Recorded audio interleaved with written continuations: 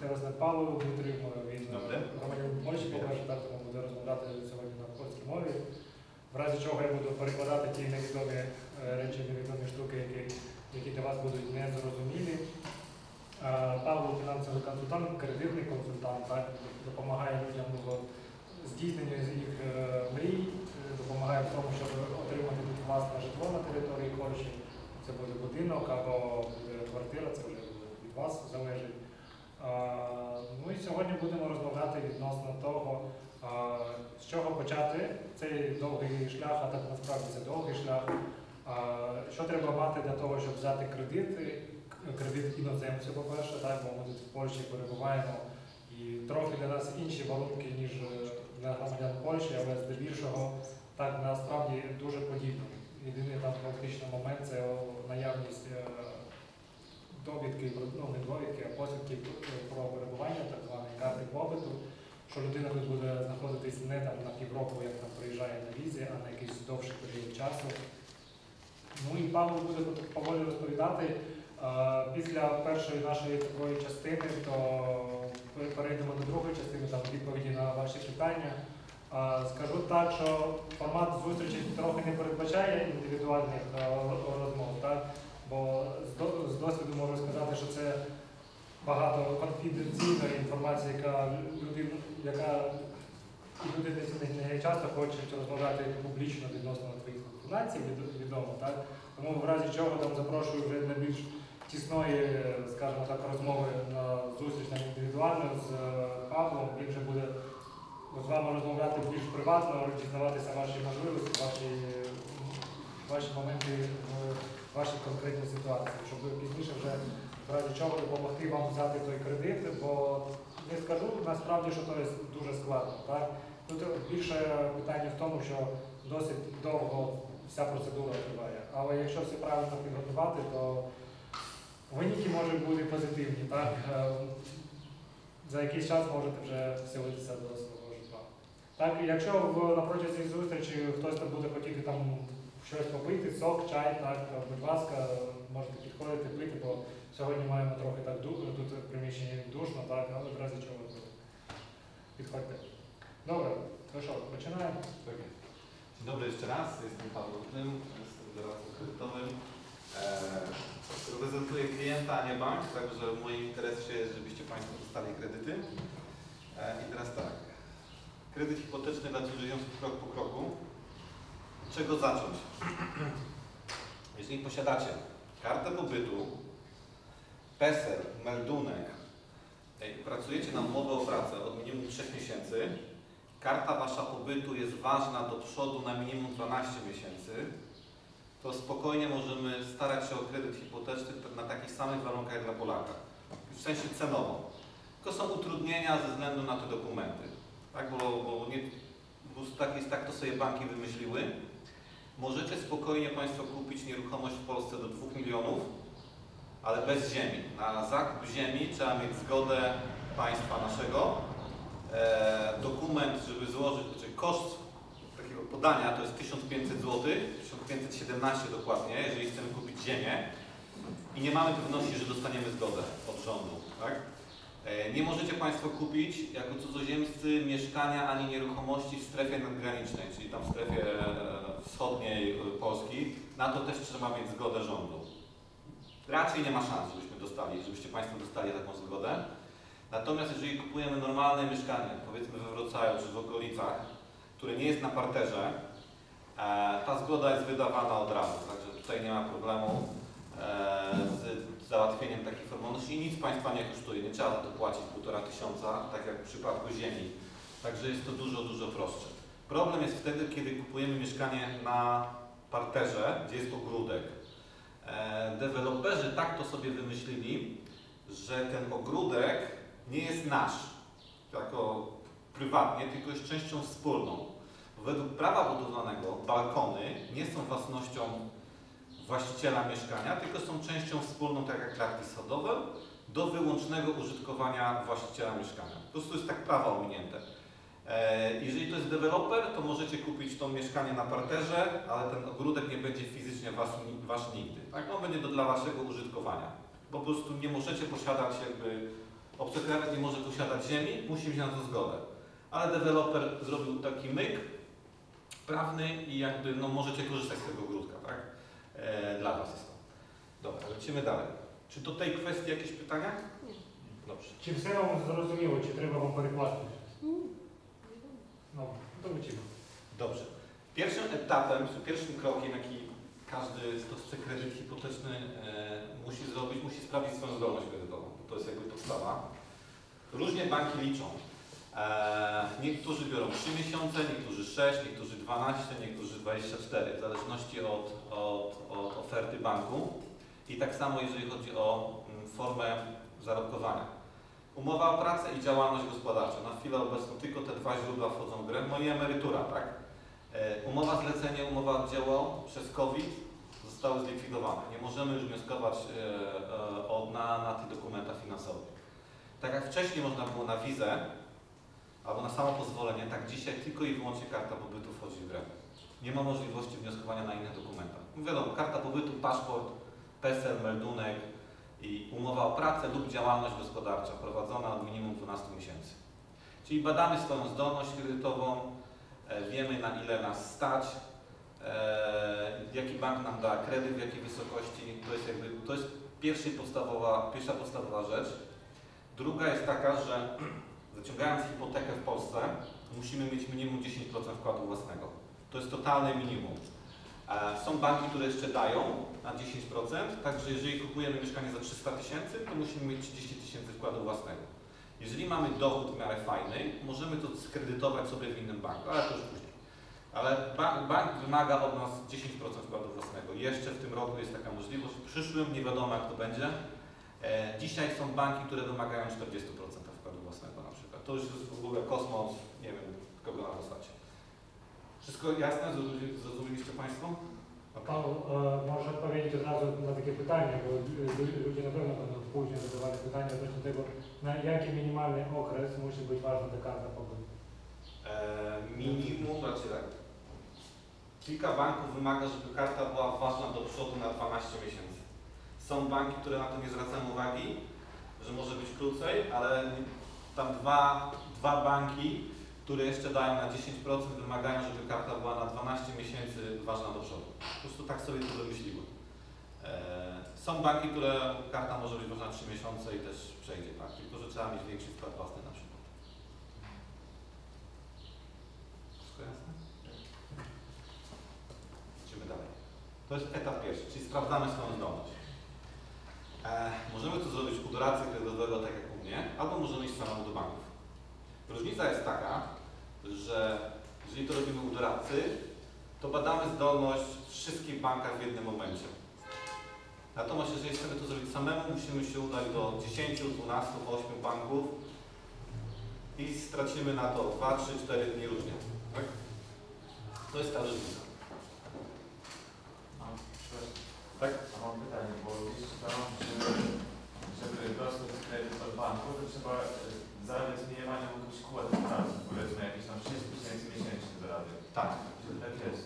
To znaczy e, 6 tysięcy to ktoś zarabia 6 tysięcy naprawdę może wziąć 450-500 tysięcy kredytu. E, badanie zdolności, wcześniejszy slajd. E, tak, tutaj. Na tym etapie doradca jest w stanie powiedzieć, ile kredytu możecie Państwo dostać. Tak? Mówiąc, jeżeli spadamy zdolność kredytową, będę wiedzieć na przykład, ile zarabiacie. Czy macie koszty kredytowe jakieś już w Polsce? Jestem w stanie oszacować w poszczególnych bankach Państwa zdolność kredytową. Tak? Także tutaj jest do sprawdzenia. E, To na tym już pierwszym etapie, tak? E, gdzie to jakby nic nie kosztuje, sprawdzamy swoją zdolność kredytową i wiemy na co możemy liczyć lub wiemy ile musimy więcej zarabiać, żeby dostać tyle kredytu, ile chcemy na nasze wymarzone mieszkanie. Tak? Do tego? Czy lecimy dalej, tak? Dobrze. E, No to tak jak mówiłem tutaj u doradcy samemu. I teraz tak, dlaczego warto skorzystać z y, pomocy doradcy tam, kredytowego czy finansowego? Po pierwsze jest to za, za darmo, tak? Mi bank płaci za dostarczenie klienta. Eee, także ja nie pobieram dodatkowych żadnych opłat od swoich klientów, no chyba, że ktoś chce mi bardzo butelkę wódki dać, no to wtedy okej. Ale jakby mi prawo zabrania w Polsce e, brania pieniędzy od klientów. Tak jest to skonstruowane, że nam płacą banki. E, mamy kilka ofert banków jednocześnie tak, do sprawdzenia.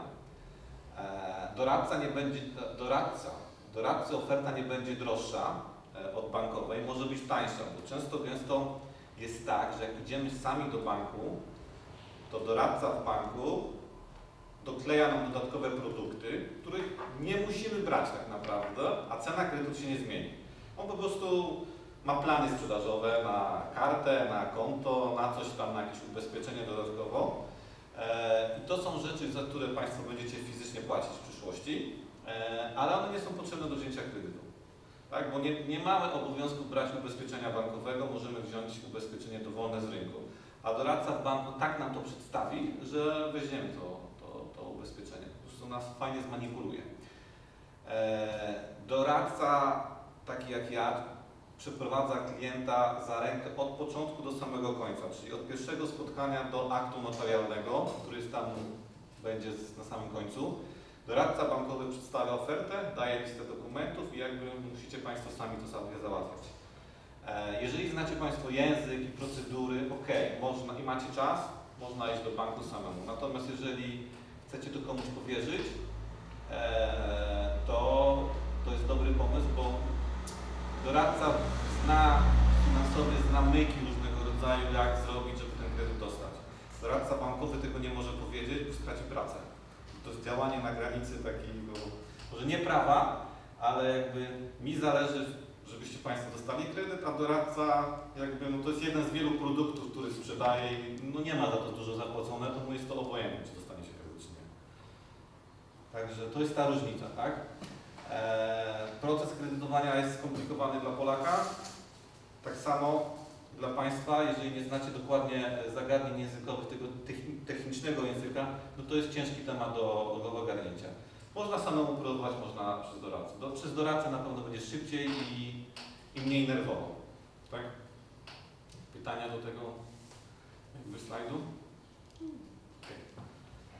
Mają ja pytanie, e, e, ile czasu zajmie powiedzmy cała procedura średnio, tak? Od samego początku, jeżeli osoba będzie chciała na przykład coś wziąć jakiś e, kredyt, tak?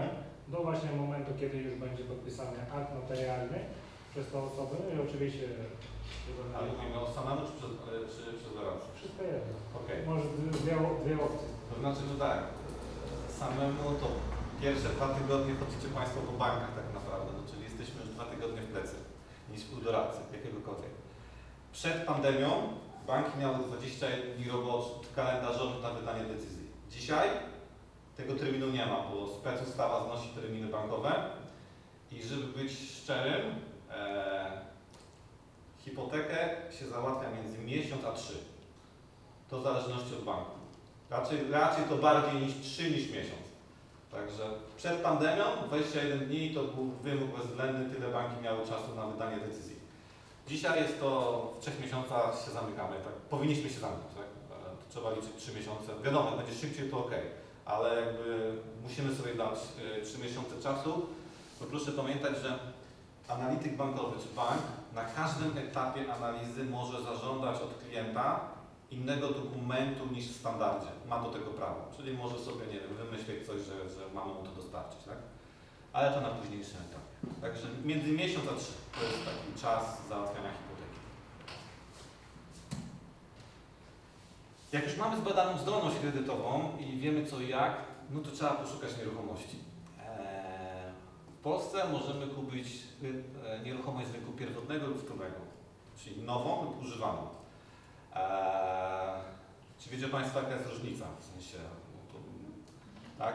Nową trzeba wykończyć, rynek wtórny jest już zrobiony, możemy się bez problemu wprowadzić, tak jakiś tam delikatny tylko lifting tej nieruchomości zrobić i możemy sobie mieszkać, tak? Różnica będzie w kosztach notarialnych.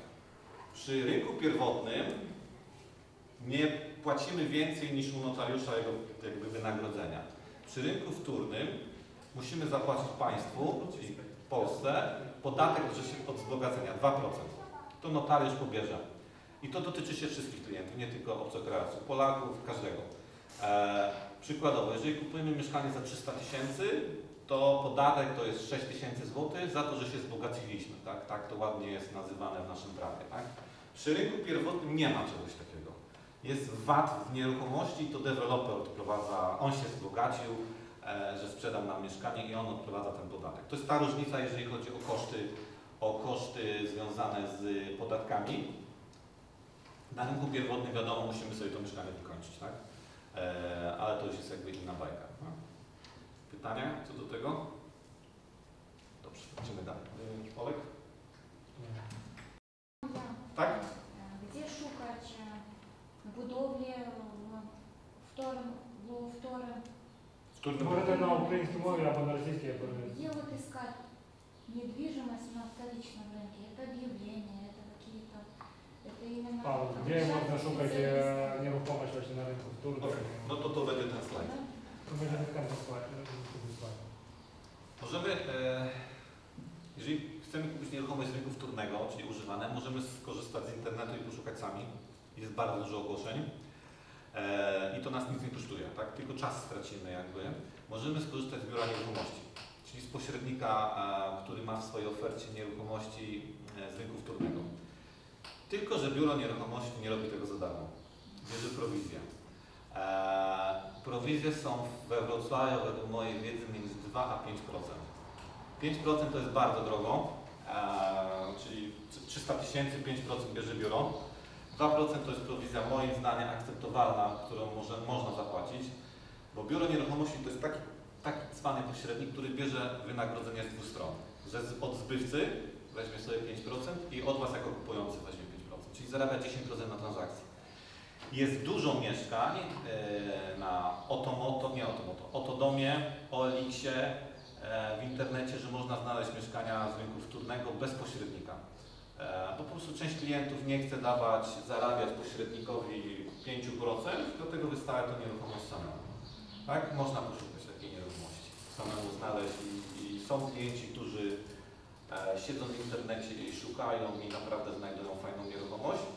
Jedyny minus takiej transakcji jest taki, że załatwienie dokumentacji do nieruchomości jest po Państwa stronie, jeżeli korzystacie z pośrednika. Ale to jest proste, to doradca kredytowy powie Państwu, jak macie, ma być podpisana umowa, żeby była, żeby, żebyście Wy byli chronieni, jakie dokumenty ma dostarczyć zbywca, e, żeby nie kupić zadłużonego mieszkania na przykład, tak? To jest wszystko do sprawdzenia e, przed, przed podpisaniem umowy. Także jeżeli się zdecydujecie Państwo sami szukać mieszkania i znajdujecie, Dzień dobry.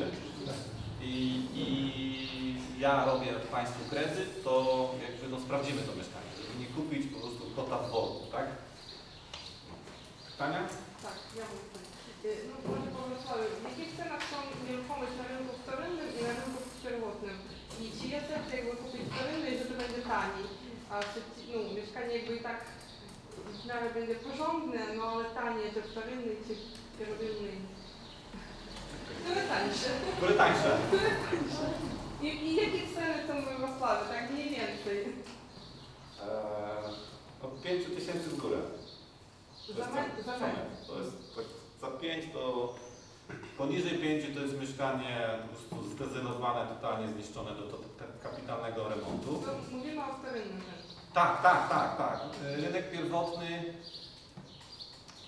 przy dużych metrażach, naprawdę dużych metrażach na obrzeżach poniżej piątki można znaleźć, poniżej 5 tysięcy, ale to już jak deweloper sprzedaje poniżej 5 tysięcy złotych za metr mieszkania, to ja bym nie kupował To jest, to jest wtedy y, no, słabej jakości deweloper, słabej jakości są materiały. E, są trzy mieszkania na parterze, to my słyszymy jak się leje woda w pierwszym mieszkaniu, pomimo że mieszkamy dwa, dwa lokale dalej. Także jest paru deweloperów, których trzeba unikać po prostu we Wrocławiu. E, ale o tym, o tym dalej. Co do biura nieruchomości, wszystko wiemy? Olek, pytania? Pan Kuznicz e, powie, jakich deweloperów, jaki... Unikat? Dobrze. Jak już mamy zbadaną zdolność, mamy wybraną naszą nieruchomość, czy to z rynku wtórnego, czy pierwotnego, jest etap trzeci, czyli kompletowanie dokumentów, tak? Mm, e, Musimy podpisać umowę przedwstępną. I teraz tak. E, Umowa przedwstępna może być w dwóch formach. E, W formie aktu notarialnego. E, To zazwyczaj jest przy rynku pierwotnym, przy deweloperce. Albo umowy cywilnoprawnej, zwykłej cywilnoprawnej, normalnej między dwoma osobami bez notariusza. Zazwyczaj to jest na rynku wtórnym. E, Coś ma Olek przetłumaczyć? Перевести, да, что именно. А, Дивіться, е, ситуація виглядає так, що е, коли ви підписуєте, е, коли ви вже знайшли е, нерухомість, коли вже отримували. Ага, ми, ми говоримо тільки о комплектуванні ще не, tak, w samej umowie. то маєте на початку е, підписати умову przedwstępну, якщо ви знайшли вже е, свою нерухомість. Так? Є два варіанти, як ви можете це підписати.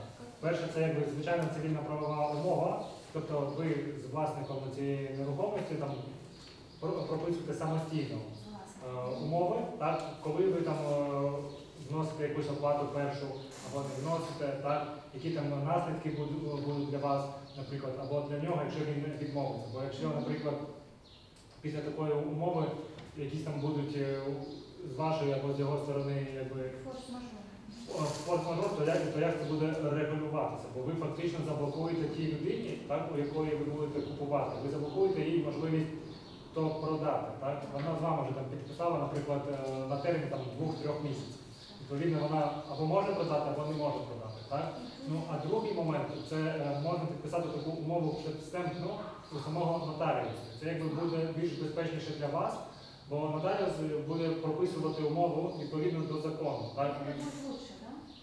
Це буде краще, але буде трохи дорожче, бо ви будете платити за послугу нотаріуса. Так? І це якби вже від кожного нотаріуса залежить індивідуально. Десь може це буде, я не знаю, там 500 злотих, десь 1000 злотих, там може десь навіть е, півтори тисячі злотих, тільки за саму умову przedwstępну. Так? А, ще якісь є питання? Ну, пока хорошо. Далее. Далее. E, W umowie przedwstępnej my jako kupujący mm, umawiamy się na jakąś cenę, tak? E, która musi być napisana. Umawiamy się na termin, do kiedy dojdzie do termin, w którym dojdzie do transakcji, czyli tam dajemy sobie 3 miesiące czasu i musimy wpłacić część pieniędzy temu zbywcy, żeby to mieszkanie nam zatrzymał. E, W Polsce są dwie formy, jest zaliczka i zadatek. I to jest bardzo ważne, co Państwo wybierzecie. Bo jeżeli wpiszemy słowo zaliczka i dajemy takiemu zbywcy 10 tysięcy złotych i nie dostaniemy kredytu, bo to różnie bywa, ja chcę, ale nie zawsze bank da, to za, słowo zaliczka powoduje, że ta, ta, te 10 tysięcy złotych będzie Państwu zwrócone. Natomiast jeżeli wpiszecie słowo zadatek a, i nie dostaniecie kredytu, przepadnie. E, przepadnie. Znaczy zbywca może Wam, a nie musi oddać tych pieniędzy, tak? Bo tak mówi prawo. Natomiast jeżeli jest wpisane zadatek i Państwo chcecie przystąpić do aktu notarialnego, ale zbywca sprzedał komuś za gotówkę, to oddaje Wam dwa razy. Czyli 10 Я, це зараз перекладу, це дуже, дуже істотний момент. Якщо буде вписано в умові в вашій умові е, слово залічка, так? Залічка, тобто ви даєте власнику нерухомості якусь окреслену суму грошей. Наприклад, це буде 10 тисяч злотих. Так? То якщо ви підписали таку умову, і умова не дійшла до завершення свого логічного, тобто не, не наступив акт нотаріальний, тобто ви не, ви не купили цю нерухомість, то е, залічка вам повинна повернутися. Так? Тобто ті 10 тисяч злотих, е, та друга сторона, яка продає, вона має вам повернути цю суму.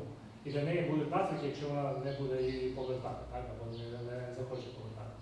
Натомість, якщо ви будете е, підписувати таку умову przedwstępну, де буде написано задаток, так, то відповідно, якщо щось трапиться з вашою умовою, якщо вам, на- на- наприклад, там банк не видав е, 3-4 вньо- вньо- заявки ви подали, і вам банк не видав.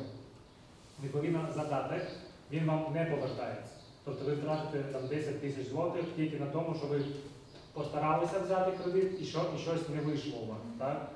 А, можна там якось прописати з власником якісь там додаткові умови, але якщо це вписано задаток, то ви фактично погоджуєтесь на те, що всі ризики ви берете на себе, так, на свою сторону. І важливий теж момент, що якщо ви підписуєте все-таки задаток, так, то тоді вас якби закон теж е, оберігає від того, що якщо ви далі будете платити за цю нерухомість, і банк вам дає ці гроші на те, щоб ви взяли цю нерухомість, а по якійсь причині власні там або не власні а, сторона, яка продає вам нерухомість, не хоче вам продавати з, з, з різних е, причин, так? то ви маєте право отримати від нього е, в два рази більше, ніж вартість того задатку. Тобто, якщо це там 10 тисяч злотих, то відповідно він має повернути 20 тисяч злотих як компенсацію. Так? Тобто, що ви прагнули, хотіли, е, втратили якийсь свій час. А... Тобто після підписання самої умови вступної, це вже якби накладає на вас обов'язки, якби в майбутньому купити, і відповідно на сторону, яка продає, продати вже. Так? Ну і відповідно тут якби тільки питання в тому, щоб знайти пізніше ті гроші на те, щоб покрити цю вартість і умову. Oddaję słowo. Czyli umowę przystępną mamy e, jakby wyjaśnioną. Niezbędne dokumenty do banku. I teraz tak, trzeba to podzielić na dokumenty nasze jako klienta banku i dokumenty zbywcy. E, no to od nas no, bank zażąda wiadomo, karty pobytu, pozwoleń, adresu zameldowania, PESEL-u, zaświadczenia o dochodach i powiedzmy wyciąga, wyciągu z konta, w zależności od oferty to z różnych miesięcy.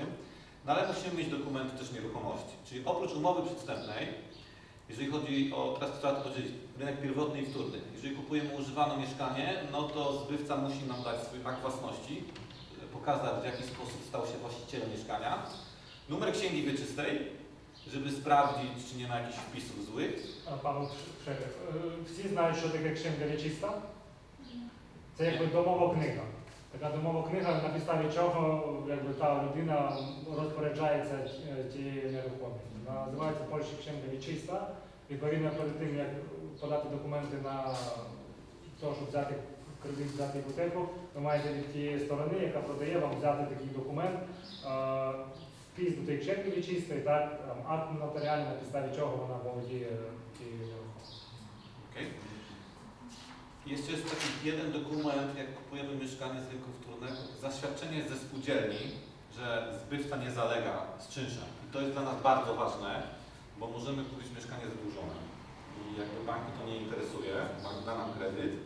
Засвідчення. А, Засвідчення зі співдільні. Співдільні це якби ну, о, в Польщі там ті будинки знаходяться якби у вас, ну, якби важко так перекласти. А, Що він є власник. Так, є якби співдільні, це якби об'єднання е, мешканців того будинку, і хтось якби розпоряджається тим домом. Хто там ну, вони, вони підписують договори відносно того, хто там має там прибирати в будинку, так, там вивіз сміття і тому подібне.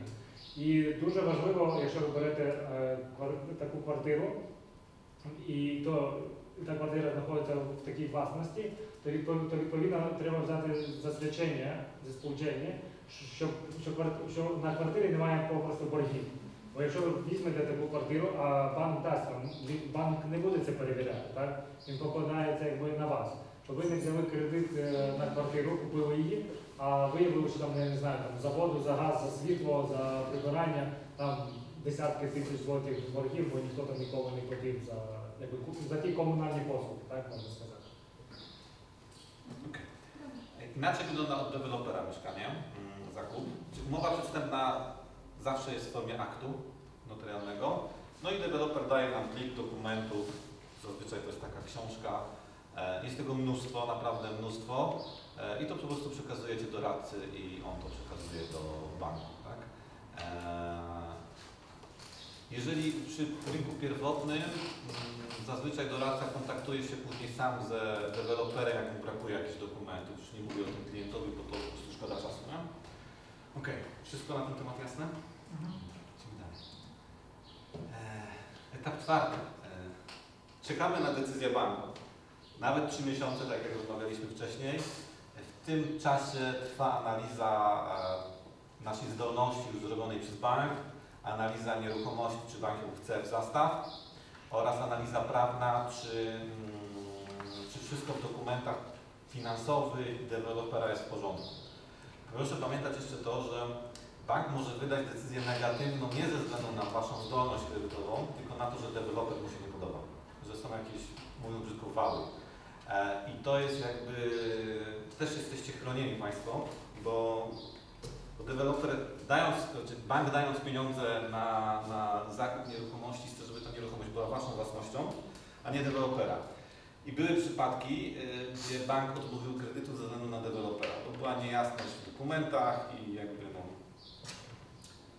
nie było wtedy możliwości sfinansowania tego mieszkania za kredyt, tylko klient mógł sobie kupić to za gotówkę, biorąc na siebie odpowiedzialność, że nie dostanie aktu notarialnego. I takie, takie sytuacje miały miejsce we Wrocławiu u paru deweloperów. Także na e, pytanie to na szczęście już części tych deweloperów nie ma, bo przejął i syndyk, pobankrutowali, te mieszkania zostały w końcu przypisane ludziom. Czekamy na decyzję 3 miesiące, do 3 miesięcy. Oczywiście w tym, w tym czasie jesteśmy w stałym kontakcie z doradcą, bo bank zawsze może poprosić o inne dokumenty dodatkowe. Tak? O nowe zaświadczenie o dochodach, bo się przeterminowało, o, wydłużenie pobytu, bo jest za krótki, czyli musimy mm, dostarczyć, jechać do urzędu, przedłużyć meldunek na następne 6 miesięcy, e, przedłużyć umowę najmu po prostu mieszkania gdzieś w Wrocławiu. Dobra. Etap piąty. Wybieramy ofertę. Jeżeli mamy ten luksus i możemy wybrać z kilku ofert, które banki nam przygotowały, e, siadamy prostu we dwójkę czy tam w trójkę, analizuj, analizujemy każdą z ofert, która się po prostu Państwu najbardziej opłaca. Niby jest to obojętnie, którą weźmiecie, e, ale już dla Państwa ma to znaczenie, bo między jedną a drugą ofertą może być nawet kilkadziesiąt tysięcy różnicy, jeżeli chodzi o odsetki. Także trzeba się poważnie zastanowić, którą chcemy.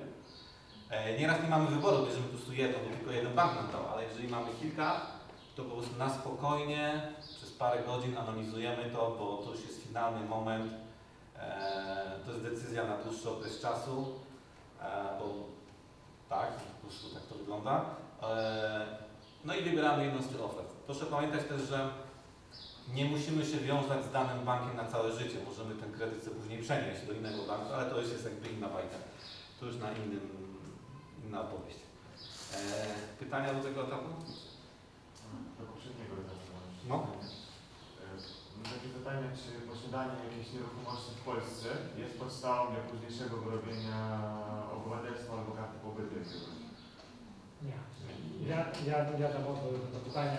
Навіть якщо ви будете мати будинок або квартиру, то це не впливає жодним, ну, фак- фактично не впливає жодним чином на те, що ви там взяли пізніше там карту резидента, наприклад, так, або громадянство. Так.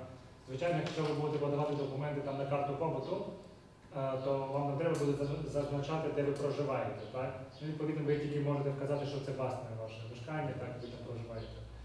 Якогось такого суттєвого впливу воно не має. Тут тільки додам один такий момент, що в майбутньому, коли ви будете подавати, наприклад, на громадянство, наприклад, через президента, бо є дві процедури подавання на громадянство, то цей факт можна буде е, зазначити, що ви тут вже проживаєте якийсь час, центр життєвих інтересів знаходиться ваш тут в Польщі, у вас тут є там, не знаю, родина, сім'я, діти, які ходять там до школи, у вас є так само нерухомість. Так? Це якби це додатковий той, якби та додаткова цеглинка, яка може вам фактично стати е, допомогою в тому, що ви майбутньому отримали громадянство.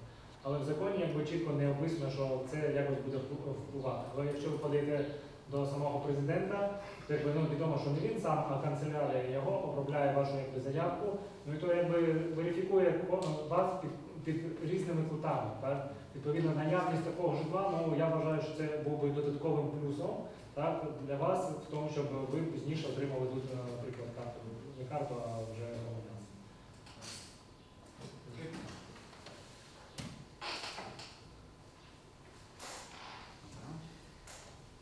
szósty.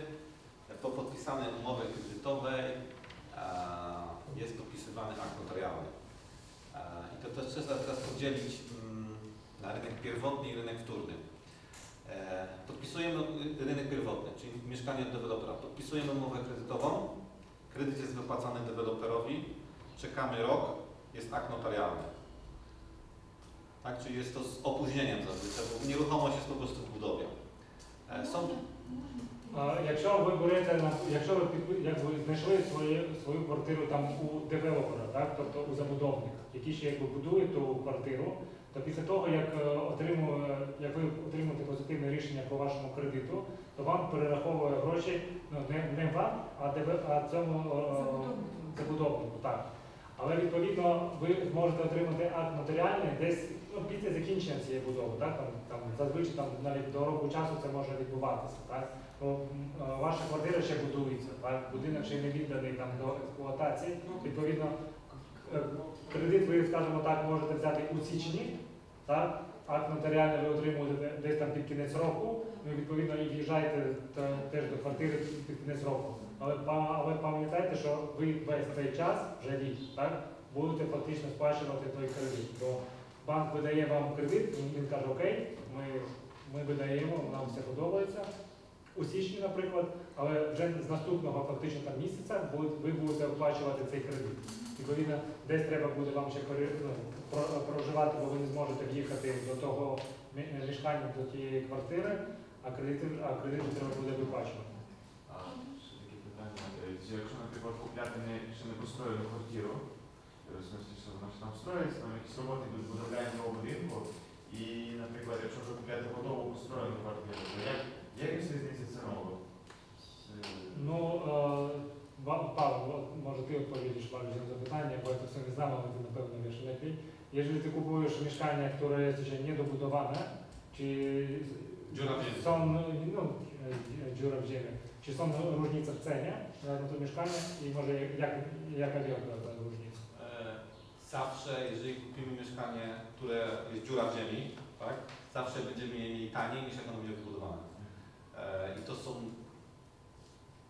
na przykładzie moich znajomych, oni kupowali dziurę w ziemi za 360, 420 tysięcy dzisiaj to mieszkanie. Dokładnie ten sam lokal kosztuje. Tylko, że kupowali wcześniej, tak? E, I tam czekali półtora roku na mieszkanie. To jest, są duże różnice, tak? E, proszę pamiętać, że deweloper ma dwa lata na wybudowanie takiej nieruchomości, jeżeli bank da kredyt i to też jest tak, że jak dziura w ziemi i bank daje kredyt, to te pieniądze nie idą do dewelopera, tylko idą na taki specjalny rachunek, to się nazywa rachunek powierniczy. E, To jest zabezpieczenie dla klientów banku w przypadku, gdyby deweloper nie wybudował tego budynku albo zbankrutował, te pieniądze wrócą do, do banku, także nie będziecie Państwo w plecy 300 tysięcy, tak, czy 400. E, ale tak, kupując dziurę w ziemi, kupicie ją na pewno dużo taniej niż za dwa lata, gdy będzie gotowa. Ale na przykład jakby deweloper, deweloper zbankrutował i na przykład te pieniądze już poszły tam na te takie... Rachunek powierniczy? No i na przykład jeżeli ten deweloper nie zbuduje budynku albo zbankrutuje, to te raty, które już spłaciłem, to do mnie wrócą, czy... Paweł, op- opowiedz ba- bardziej odnośnie tego zabezpieczenia, tak? Odnośnie tego, że to pro- procentowo idzie tego przelewu. To tak, jeżeli kupujemy e, od dewelopera nieruchomość i, i wypłacamy ją w transzach, tak, bo, bo, bo deweloper tak sobie życzy, e, oczywiście jest to zapisane w umowie, w umowie przystępnej, która jest w formie aktu. I te pieniądze dostaje jakby bank dewelopera, ma ten rachunek powierniczy, nie sam deweloper, tylko bank dewelopera. I bank prosi 5 transzy po 100 tysięcy, przykładowo, po pół miliona płacimy za mieszkanie, Bank nam daje 100 tysięcy, czy daje, wypłaca nam kredytu. My płacimy odsetki od tych 100 tysięcy fizycznie, tak? Bo jakby nie wypłaciliśmy całego kredytu, tylko część. Płacimy odsetki od 100 tysięcy. Za 3 miesiące deweloper mówi, daj mi następne 100 tysięcy, już płacimy odsetki od 200 tysięcy. Tak możemy w 24 miesiące to robić, e, bo deweloper ma tyle na wybudowanie nieruchomości. Jeżeli w tym czasie, nie daj Boże, by się stało to, że deweloper upadnie, zbankrutuje czy cokolwiek, niestety tracimy te odsetki, tak, jako klienci, ale to, co bank wypłacił na rachunek powierniczy, wróca, wraca do naszego banku, czyli jakby nie musimy spłacać kredytu, tak, nie. Straciliśmy odsetki, wiadomo, wtedy możemy iść na drogę sądową jako osoba fizyczna z deweloperem, walczyć o, to, o, to, o te pieniądze, tak, ale bank jakby nas, nam ich nie odda, tak, bo to była umowa pomiędzy nami a bankiem, a rachunek powierniczy zabezpiecza nas jako klientów banku. I to od paru lat funkcjonuje coś takiego, bo były sytuacje, że deweloper dostał kasę, zawinął się i, i musieliśmy, klienci musieli spłacać kredyty. Tak? E, ale wracając do poprzedniej kwestii, zawsze będzie taniej kupić nieruchomość jako dziurę w ziemi, e, niż, niż mówimy o nowym mieszkaniu, tak? E, to będzie taniej niż kupić mieszkanie gotowe, tak? To będą duże różnice. No i jeszcze dodam taką informację, że odnośnie tego rachunku, tak, to e, jakщо zabudownik buduje taki budynek za koszty jakby kredytni, то відповідно не вся одразу сума е, потрапляє забудовнику, а частково. Так і е, грубо кажучи, виглядати так, що якщо, е, наприклад, забудовник каже, банк, мені там треба гроші, банк там приказує умовні там 10% на те, щоб зробити фундамент. Так? Зроблено ніби якби фундамент, приїжджає особа з банку, перевіряє, чи зроблено то, і далі якби платить там ще, наприклад, 10% на те, щоб там вже збудувати перший поверх. І так, так само фактично до 100%. Так? Бо якщо, наприклад, так само збанкрутує ваш е, забудовник на якомусь етапі, то ви якби формально теж не, не, не залишаєтесь абсолютно ні, не, не з чим. У вас буде будинок, наприклад, з фундаментом, так, там, або з першим, другим, третім поверхом, і якби банк буде фінансувати тільки частину тих грошей, тобто там на 10-20%. І тому більш-менш це теж є для вас якимось таким е, забезпеченням.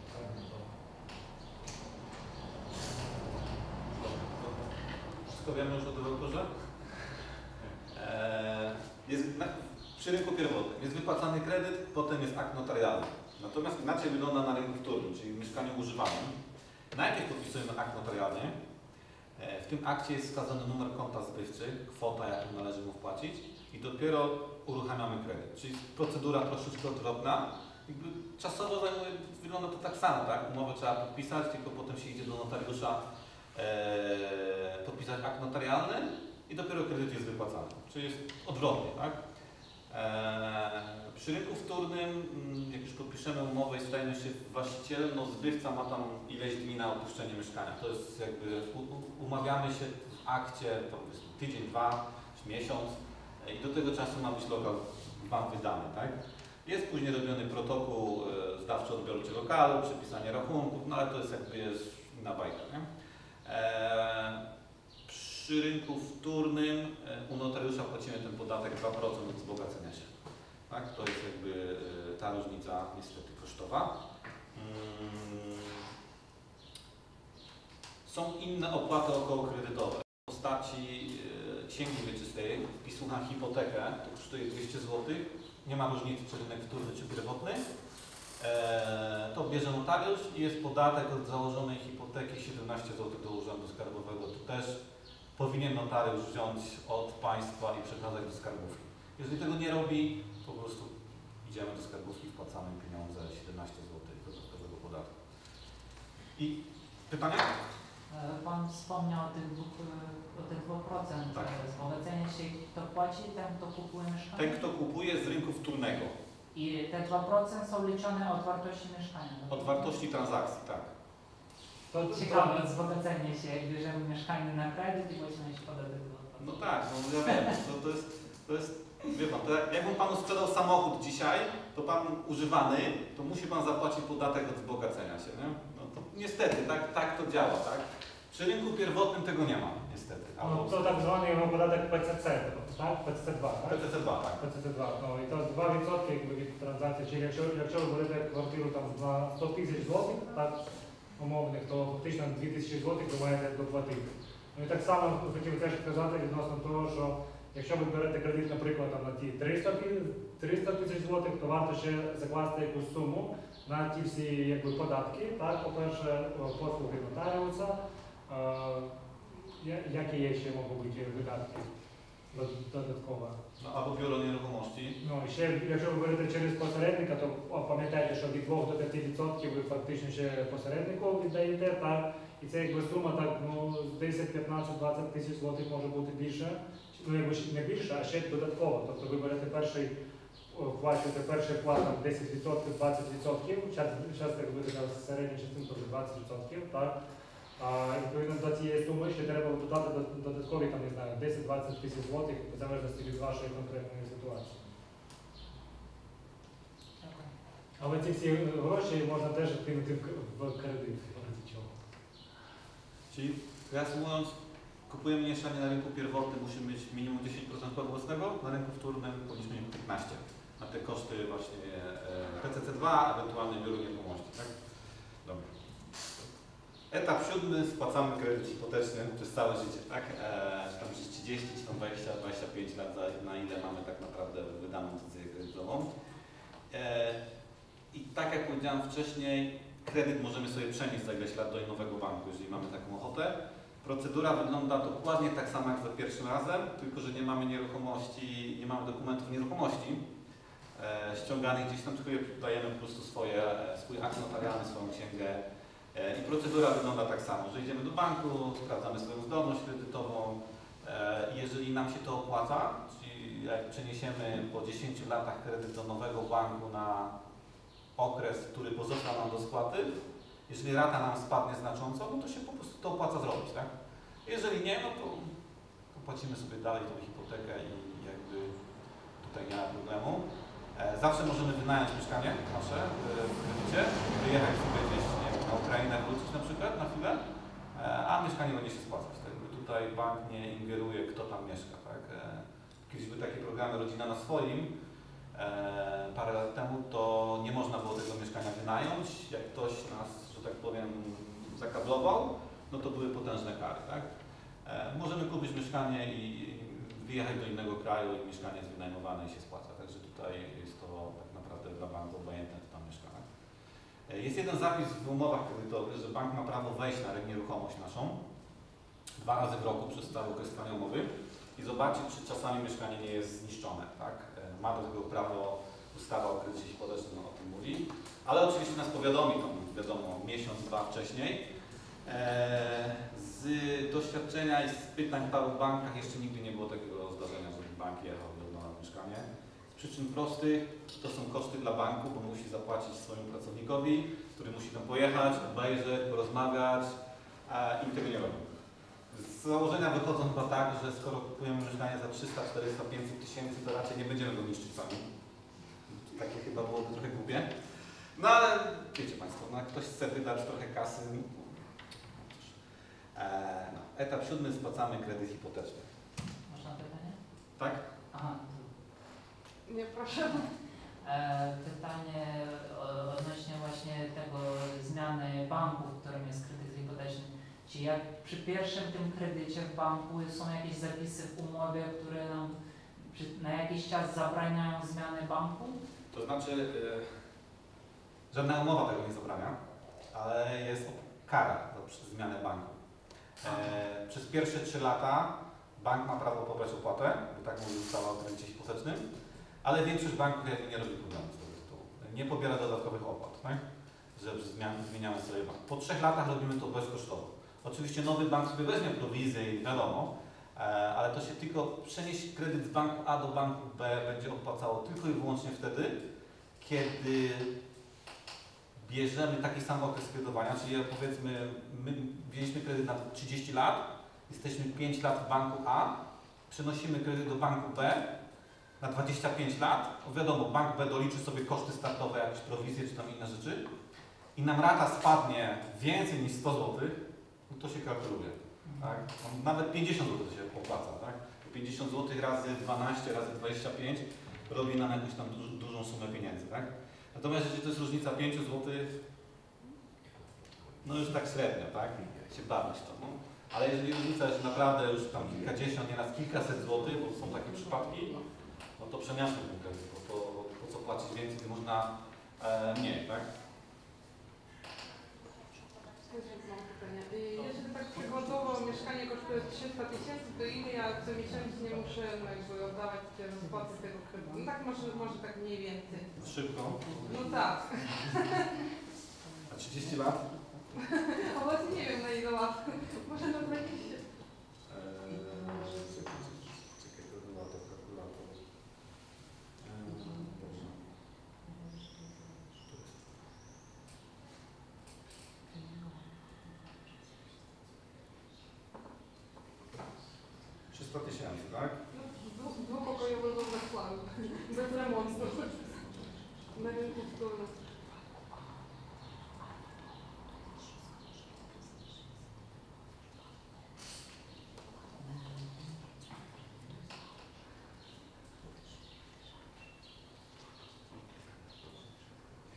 300 tysięcy na 30 lat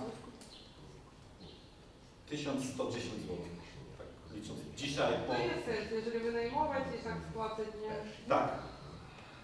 Zawsze wynajem nieruchomości, bo proszę Państwa, dzisiaj z wynajmowaniem nieruchomości to jest 1000 zł za pokój, tak i tak. drzwi, dwa tam 10 metrów i części wspólne. E, zarabiając 4000 miesięcznie spokojnie możemy sobie wziąć hipotekę na 300 tysięcy na przykład samemu i, płacić za hipotekę w tym przykładzie 1100 zł. Do tego dochodzi wiadomo, czynsz, inne rzeczy, no to zamkniemy się w 1500 maksymalnie. E, mamy dwa pokoje albo trzy, w zależności e, co wybierzemy. Możemy wynająć jeden pokój i już nam się hipoteka spłaca. E, zawsze kredyt wyjdzie Państwa taniej kosztowo niż wynajem pokoju. To, to jest zawsze. Przy dobrze rozplanowanym tutaj jakby zabawie z kredytem możecie Państwo jeszcze tak mieć, że no nic nie płacicie za ten kredyt, bo mamy trzy pokoje czy dwa, wynajmujecie komuś jeden pokój czy dwa i tak naprawdę zarabiacie na tym. Tylko wiadomo, musimy ten kredyt najpierw dostać, tak, e, żeby takie coś zrobić, ale zawsze wynajem będzie droższy niż, niż posiadanie kredytu, tak? Niż spłacanie tej hipoteki. Nawet jak to Wspominają tak samo nie mamy nic, po, po prostu. No tak, płacąc komuś za, za, za jego nieruchomość, no płacimy, tak do ZUS-u się płaci i nie ma. To, to jest na takiej samej zasadzie. Korzystamy z nieruchomości, ale jakby to nie jest nasza nieruchomość. Kupując ją na hipotekę, no to spłacamy kredyt, spłacamy nasze mieszkanie, my jesteśmy właścicielami zawsze możemy je wynajmować dodatkowo i dodatkowo z tego, z tego tytułu czerpać e, korzyści. Pana, czy jest w ogóle jakieś teraz programy w Polsce, jak na przykład wcześniej było mieszkanie dla młodych, które pomagają e, w kupowaniu i na przykład ubezpieczają za zbyt wysokie ceny za mieszkanie? Nie ma. Miał być program Mieszkanie Plus, ale chyba coś rządowi się nie udało. Е, Питання було відносно того, чи якісь програми, скажімо так, е, молодіжного кредитування, то від якого часу вже немає. Повинна була бути програма Квартира плюс, так, мішкання плюс. Але то була тільки якби декларація і фактично вона не вийшла в життя, і якби так все і залишилось. Що на даний момент е, ніякої якби, підтримки фактично немає. Тобто це в ваших руках і від вас тільки залежить, чи хочете, чи не хочете. A jak mogą ubezpieczyć się za takimi zbyt wysokimi cenami, na przykład na rynku wtórnym, jak sprzedaje nam właściciel mieszkania? Ale jeszcze raz, jak zabezpieczyć się Tak. przed cenami? Tak, przed tak wysokimi. Nie ma czegoś takiego. Po prostu szukać i no albo kupujemy mieszkanie we Wrocławiu płacimy 6, 7, 8, 10 za metr, albo kupujemy je poza Wrocławiem, gdzieś w miejscowościach sąsiednich i płacimy tam 4,5 za metr, tam 3 za metr. E, bo na przykład w takiej Oleśnicy można kupić mieszkanie to jest 30 km od Wrocławia za 3000 za metr. I dojeżdżać na przykład tam samochodem czy komunikacją miejską.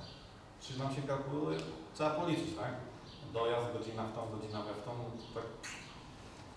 Jest, powiem tak, ceny mieszkań są takie duże albo takie niskie, ile jesteśmy w stanie za to zapłacić, tak? Oczywiście ceny są za, moim zdaniem za wysokie, a one cały czas będą rosły, bo e, ktoś, kto ma pieniądze, nie da e, kasy do banku na 1% na lokatę, tylko kupi mieszkanie za tam, 400 tysięcy i je wynajmie na przykład Państwu i ma z takiego mieszkania 5 tysięcy czy 4 a z lokaty bankowej ma grosze, tak? I, I jakby to napędza biznes. Yy, I ja bym nie doszukiwał się tutaj tego, że ceny z mieszkań spadną. One przez COVID troszeczkę zjechały, te drogie mieszkania deweloper spadły na chwilę, bo deweloperzy chcieli je szybko sprzedać, ale rynek wtórny zawsze będzie się trzymał. Niestety Wrocław jest takim, takim miastem, że te ceny będą szły w górę.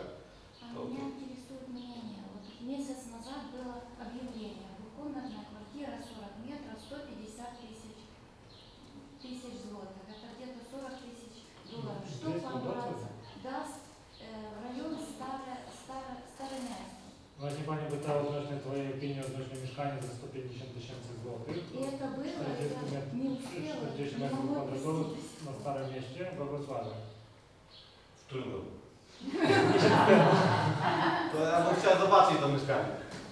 Bo to jest tak, możecie Państwo kupić naprawdę, znaczy inaczej, są perełki do kupienia e, za śmieszne pieniądze, zniszczone, ale to musicie mieć gotówkę.